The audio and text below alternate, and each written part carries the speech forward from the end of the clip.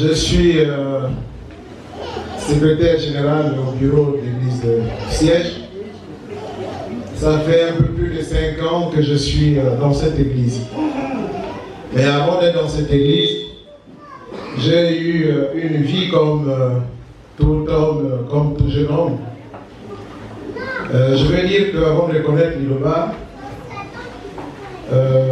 j'ai travaillé quelque part, j'avais mes PME, j'avais, rien ne manquait. Rien ne manquait, j'avais de l'argent en permanence. Les fins de mois, je pouvais me retrouver avec 2 millions, 3 millions. J'ai payé mes agents, après, après c'était la fête. Mais je vous assure que je n'ai rien réalisé avec cet argent. Pratiquement rien.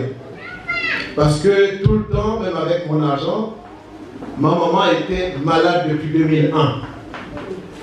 Et je vais vous dire que j'arrive dans cette église, c'est à cause de ma maman. Je l'amène euh, tout le temps, elle arrive, je l'amène chez les gangas. On arrive, on fait ci, fait ça, on fait, on repart, ça reprend à zéro.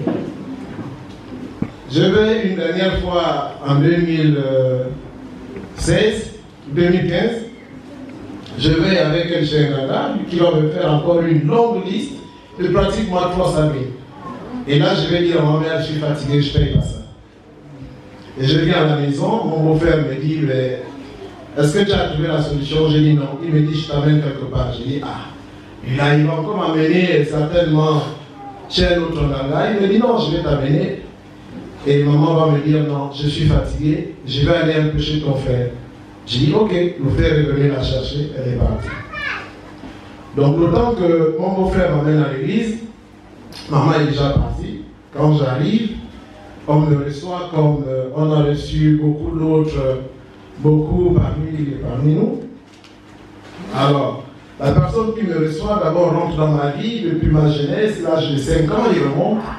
Et là je vais me poser des questions, est-ce que mon beau-frère a raconté ma vie? Est-ce que ce monsieur, mon beau-frère ne connaît pas ma vie depuis euh, l'âge de 5 ans? Alors là je commence à, à me poser des questions. Mais quand je vais à la maison, le premier cadeau que j'ai eu dans cette église, c'était la paix.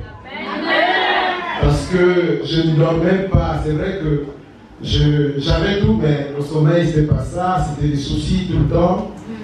Et dernièrement, en date, euh, je partais un matin, ma fille était malade un soir. Elle s'est peignée de la douleur du ventre. Et je demande à madame d'amener à l'hôpital autour de 4 heures, comme j'habitais et à 6 heures, je devrais me rendre à DHM pour récupérer un chèque de beaucoup d'argent d'ailleurs. Je prends le chèque, je viens pour essayer de sauver ma fille, malheureusement. Avec de l'argent, des ordonnances d'eau, ma fille est partie. Donc l'argent n'a pas pu sauver ma fille. Et après, j'ai continué à être dans cette église. Je vous assure que j'ai vécu des combats, des grands combats dans cette église les enfants tombaient malades n'importe comment, jusqu'à ce que, à une certaine, certaine période de l'année, 2014-2015, je commençais à tout perdre. Il n'y avait plus de marché, il n'y avait plus d'activité, tout, tout tombait en faillite. Même les agents, j'avais du mal à les payer j'étais obligé de revendre la structure. Quand je l'ai je me suis concentré, je suis resté à l'église, parfois les enfants tombaient malades, les enfants euh, quand ils tombent malades, je n'ai rien, même pas sans enfant.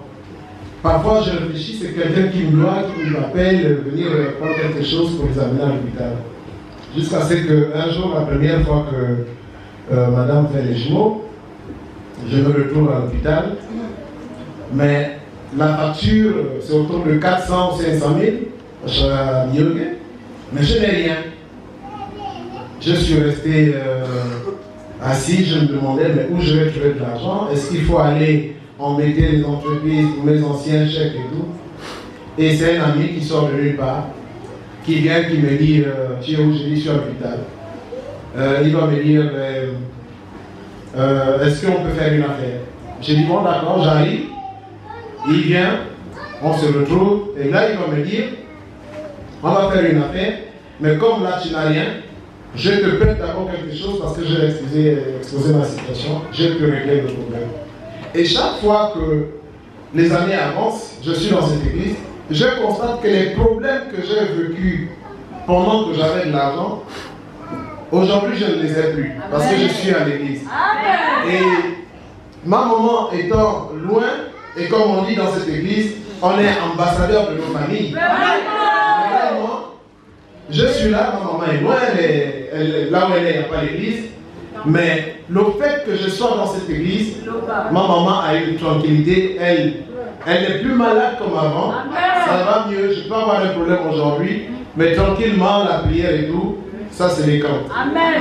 Comme je disais tantôt, la dernière fois, le dimanche dernier, j'ai eu un problème, ma, fille qui était malade, étant malade, elle a failli, j'ai failli, failli la perdre la nuit. Et la nuit, on va appeler un serviteur qui va faire la prière, qui va nous dire, tout est fait pour que cette fille parte. Mais faites tout, je vous fais la prière, mais le matin, il faut qu'on vienne chez vous faire la prière. C'est ce qui s'est passé, ils sont venus faire la prière, et quand ils font la prière, ils vont nous dire, bon, vous allez asperger, faire le jus, le jus de pétrole, vous allez asperger le jus dans la maison et tout le temps frotter aux enfants, c'est ce qu'on a fait. Et il va nous dire, si la personne qui est derrière ça insiste, persiste, cette personne a l'espérance de perdre la vie parce que Dieu va se mettre sur son chemin.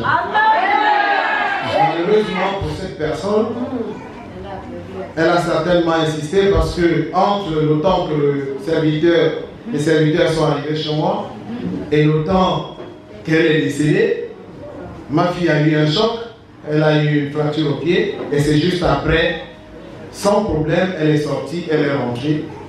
Le matin, je sors pour le travail, ma femme m'appelle pour me dire Ah, ma tante vient de perdre la vie.